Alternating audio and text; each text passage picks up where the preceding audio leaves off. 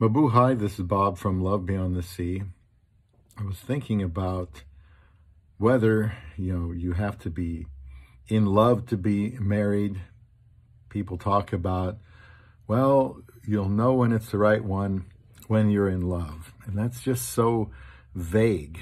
Everybody that gets married and pledges, you know, that they will love the other person or they do love the other person and it doesn't work out, well, something, something was wrong there. They might have said they were so madly in love when they got married and six months later or six years later, they get divorced. Sometimes 25 years later, people get divorced and, and people say, well, mm-hmm. you know, when you're in love, then it's time to get married. I can't think of anything more wrong than that when you're in love, then get married. Well, I would forget that the term in love even exists because what does that even mean? It means different things to different people. I don't think you have to be in love with someone to get married. I think that's one of the many reasons why there's so many single people in the world. They're confused about the purpose of marriage. Why would I even want to get married? I talk about the lot here I talk about that a lot here in all my videos on Love Beyond the Sea. I've got over 1,200 of them on um, on uh, Rumble and on YouTube. Uh, more people are watching on TikTok, which is good.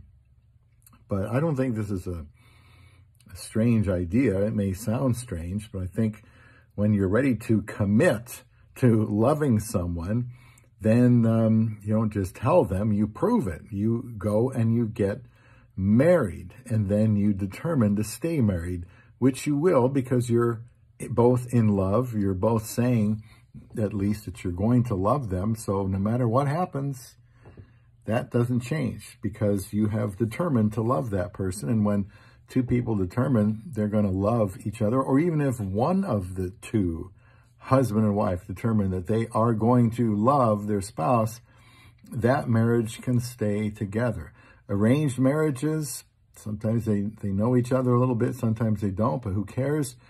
Uh, once they're married, they are committed to to loving each other. And when that happens, I don't think you have to know somebody for two, three, or four or five years.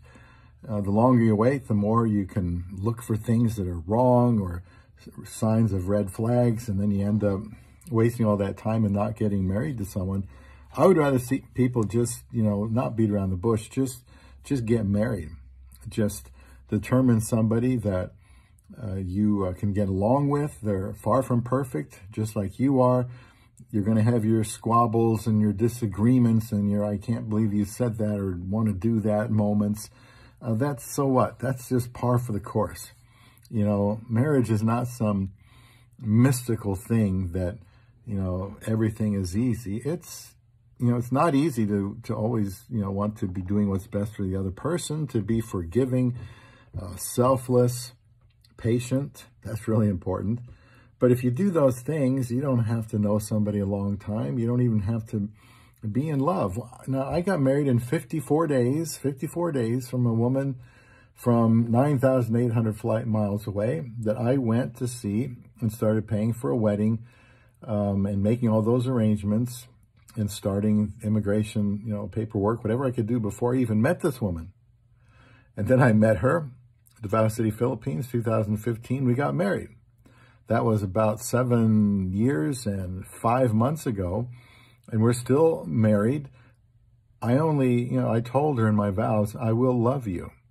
Okay. And, and I have. That's what I vowed to do. What I felt before then really doesn't matter because your feelings can come and go with the first um, shocking words or the, the shocking behavior and all that stuff um, is going to happen. It should happen less the longer your marriage goes on. So do you have to love, be in love or love someone before marriage? No. Um, once you walk down the aisle and you're in front of witnesses and a a minister and you say, okay, you know, everybody here, you hold me accountable because I'm telling you that I'm going to love this person, then um, that's it. From that point on, you love them. And uh, if they aren't lovable, you love them because that's what you said you were going to do.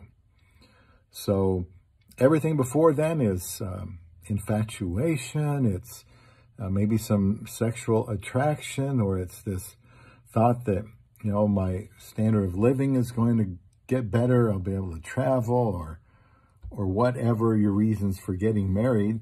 Marriage is a great thing. Um, but if you even feel like you're ready to commit to somebody for the rest of their life, no matter what happens, then you're ready to love that person and do whatever is best for them. Be their servant leader if you're a husband, no matter what. And um, that's that's what love is. You don't do it before you're married. A lot of people have had a lot of relationships, no marriage, and those relationships were duds. They didn't go anywhere because the man never loved the woman. and the woman may have let him take advantage of her, thinking that that would get him into marriage, which it just doesn't work that way. Uh, so I'm just trying to make you think a little bit here. I got married quickly. Many others have gotten married quickly. And, you know, I think the key is you determine, okay, we're going to love each other. I'm going to treat her so well. There's no reason for her not to treat me well. And um, maybe then people will stop being single like I was in, in, in my 50s. I hadn't thought about overseas, international dating. I thought it was I just never thought about it. You know, I thought something closer, of course, would be better. But I went overseas. I went where I was wanted, and I didn't hesitate to commit to that person. That's why we got married in 2015, and that's why we're still married here today. So let me know what you think about this. I'm done rambling. I just wanted to tape something here before the football game about do you have to be you know, do you have to love someone? If you say you're in love again, I don't even want to hear that term because nobody knows what it means and, and it carries no weight. So should you commit to loving somebody before marriage? Yes. Do you have to love somebody before then? No. Just get married and start loving them. That's what I teach here, among other things, on love beyond the sea.